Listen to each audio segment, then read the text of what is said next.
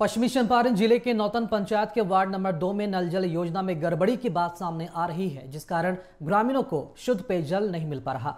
ग्रामीणों के मुताबिक जिला स्तरीय टीम ने जाँच के बाद वार्ड सदस्य और मुखिया को शुद्ध पेयजल की सुविधा जल्द से जल्द मुहैया कराने का निर्देश दिया था। बावजूद इसके, उन्होंने अब तक इस और कोई काम नहीं किया, जिसके बाद से ग्रामीण काफ़ी निराश दिख रहे हैं। तो आपको ये दी चले कि नल जल योजना में काफ़ी गड़बड़ी का जो मामला है, वो सामने आ रहा है।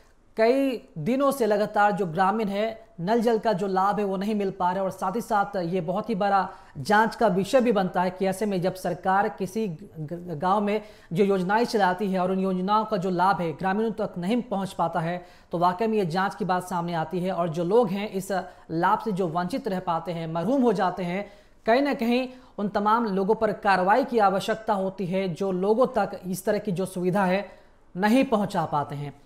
शुद्ध पेयजल को लेकर ये जो मामला है वो सामने आया है, जहाँ पर नल जल योजना में काफ़ी गड़बड़ी का जो मामला है वो देखा गया और शुद्ध पेयजल से जो ग्रामीण है काफ़ी वंचित नज़र आ रहे हैं।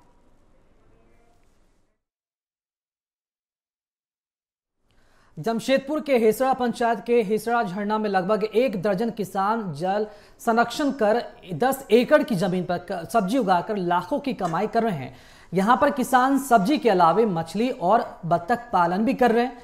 हेसड़ा ग्राम प्रधान राम रंजन प्रधान ने बताया कि इससे पारंपरिक जल स्रोत से सालों भर पानी बहता रहता है, जिस कारण यहाँ गर्मी के मौसम में दूर के इलाके से पर्यटक भी आते हैं।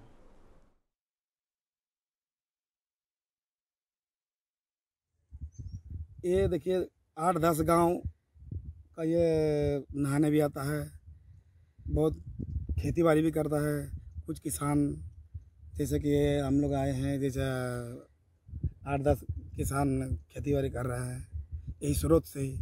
अगर इसमें अगर सफ़ाई उफाई हो जाएगा ना, ये स्रोत और भी पानी अच्छा से देगा और मछली भी पालन होगा बतख पालन होगा।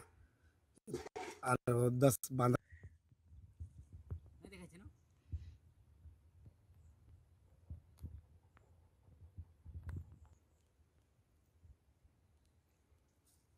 やりたい